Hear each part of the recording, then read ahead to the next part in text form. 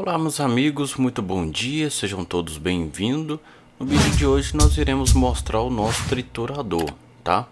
Aqui a gente tritura as folhas, aqui a parte de cima, beleza?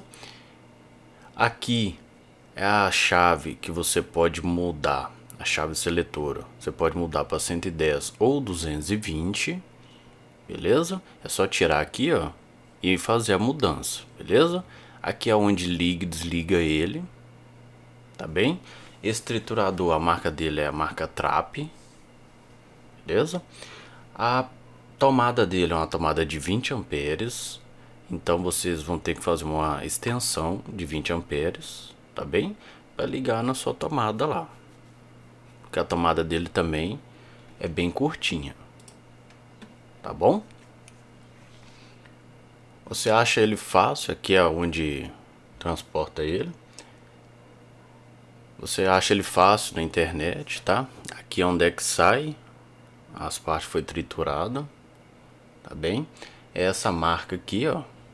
Modelo TR200 da marca Trap, tá? Não tô fazendo propaganda de nada. Só tô mostrando para vocês o que a gente tem aqui, o que a gente trabalha com ele. Eu já tenho ele já tem uns dois anos, tá? Aqui eu mostrando para vocês que eu coloco a folha aqui, ó. Ele tritura bem rapidinho, bem fácil. Tranquilo? Então ele ajuda bastante nos nossos resíduos aí, tá? É, teve gente que me perguntou aí em vídeos passados sobre a poda. O que que eu faço com os galhos? Eu passo no triturador, tá? Igual falei com vocês, eu já tenho ele já tem uns dois anos. Aqui eu triturei galho de pitaia tá? Aqueles galhos que vai ficar mais velho por baixo, a gente faz a poda e tritura ele aqui para ele virar adubo, beleza? Aqui ó, dessa pitaia aqui mesmo. Alguns galhos que eu tiro daqui eu passo nele, tá? Então eu trouxe ele para cá, geralmente eu utilizo ele lá na roça. Eu trouxe ele para cá pro quintal para fazer o teste e mostrar para vocês. Tá bom? Olha só. É bem tranquilo. Aqui em cima, igual falei com vocês, é as folhas. Aqui embaixo é os galhos, tá? Mais ou menos dessa espessura até uma polegada. Beleza? Aqui em cima é as folhagem. Tá bem? Em cima é mais fraco um pouco, então tem que jogar mais folha. Aqui a parte de baixo do tubo ali é os galhos, tá?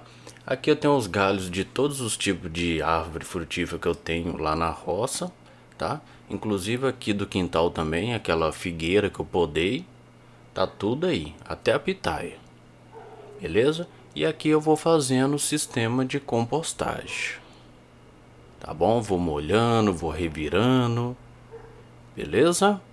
Então é isso que eu queria trazer para vocês, mostrar o nosso triturador, né? a gente utiliza ele bastante. O interessante é a gente ir colocando aos poucos, tá?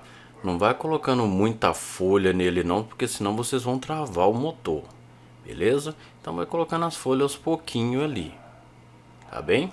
Pitaia, é bom você colocar ela quando ela tiver mais seca o, o tronco dela, tá? O tronco não, desculpa, o os cladódio, né?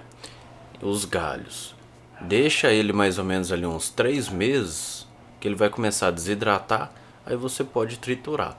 Pode triturar ele verde também, mas porém ele vai dar muito sumo ali dentro, vai virar aquela plasta e não é muito legal não, sabe? Então é preferir vocês deixar deixarem o galho da pitaia secar, tá bem? para depois triturar. Fica mais fácil, né? Até mesmo para fazer a limpeza. Tá bom? Então é isso aí. Não tô ganhando nada de, de marca, tá? Só tô mostrando para vocês a marca que a gente tem aqui, que a gente trabalha com ela. Eu gostei muito dessa marca aí.